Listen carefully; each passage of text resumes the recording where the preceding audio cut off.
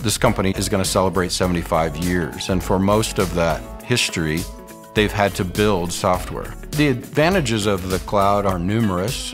One, you're out of the infrastructure business. Two, you're out of the infrastructure support business. Prior to this, the technology stack was not enabling a growth strategy or even a modern day stay in business strategy, and it had to be replaced.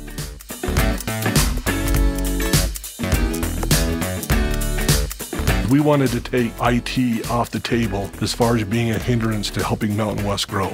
We've got different tools that we've never had here at Mountain West before. Real-time processing, real-time reporting. You can drive a business, you can make valid business decisions. It's opened doors that we didn't even know existed.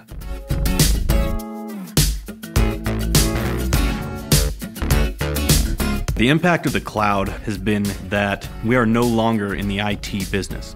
All of that is housed and worked from Guidewire. So our operations department is now working directly on getting policies fixed and issued as opposed to entering in data on a day-to-day basis.